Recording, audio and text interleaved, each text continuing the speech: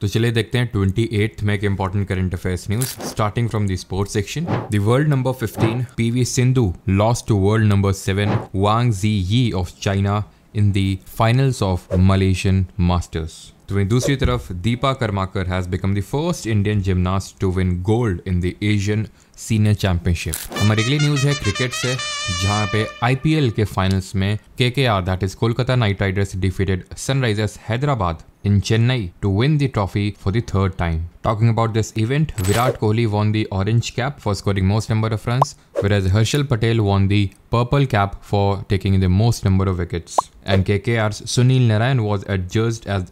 season most valuable player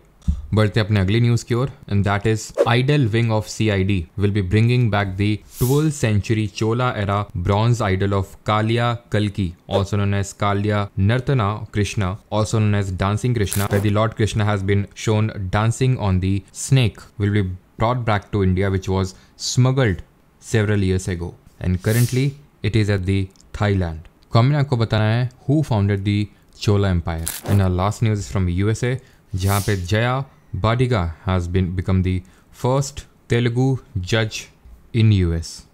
Thank you.